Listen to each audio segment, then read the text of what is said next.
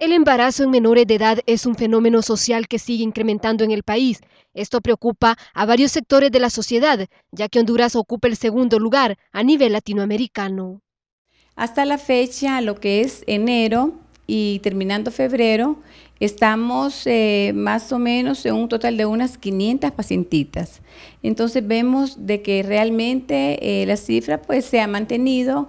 Eh, diariamente recibimos de 16 a 18 pacientes y dentro de las cuales atendemos hasta 6 pacientes nuevas diariamente.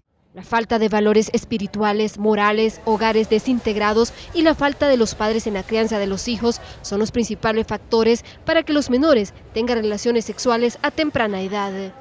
Sí, podemos eh, decir de que una de las causas principales es este, los padres están trabajando, ambos, los niños están siendo educados básicamente por personas extrañas, en todo caso eh, están creciendo solos, sin la orientación de vida.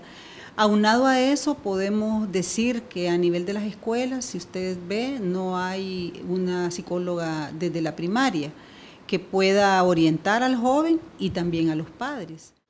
Mucho tiene que ver con la educación, no hay una educación sexual, una orientación hacia la niña. Eh, la baja autoestima es uno de los problemas que también inciden mucho, la niña que no se estima, que no se respeta.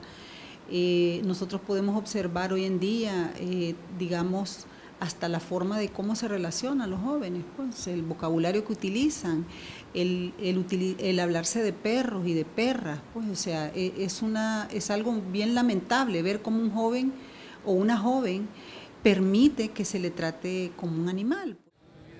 Solo el año pasado se registraron más de 2.500 menores embarazadas, esto solo en el hospital escuela. Cada vez que una menor sale embarazada, no solo pone en riesgo su salud, sino también la de su bebé.